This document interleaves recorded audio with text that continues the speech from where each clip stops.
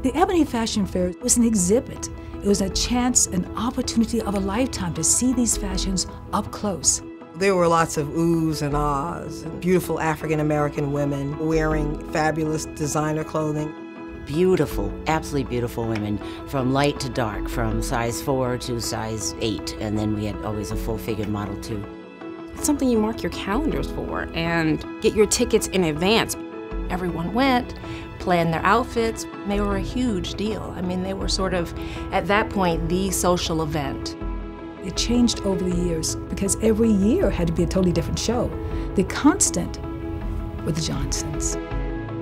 The fashion fair was started at a time when black models were generally not being included in mainstream fashion shows. Mrs. Johnson broke boundaries and barriers. She was in Europe shopping for these shows at a time when many black women could only dream. To see them on African American models was her goal that she accomplished. We performed six nights a week, six different cities. We had a Greyhound bus and room for 200 garments on that bus. We had to narrow it down. Everyone we needed for the show was on the bus. We would get to the new city, check in, go right to the venue sometimes. Some of it was very editorial, some of it was just so beautiful.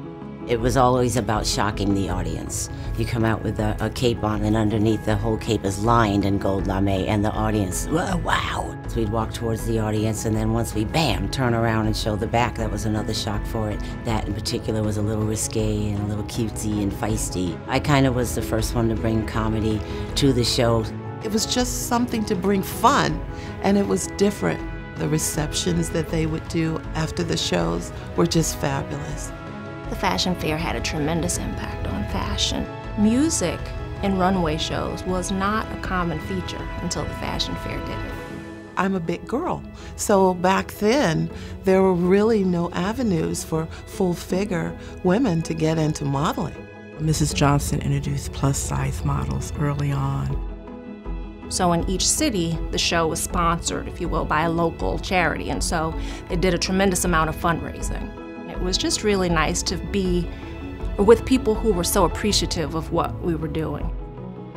The fashion fair experience set, you know, a cultural trend that proved and demonstrated that African Americans were equally capable of being involved in high fashion as we were in every other endeavor. The George Washington University Museum and the Textile Museum decided to host Inspiring Beauty.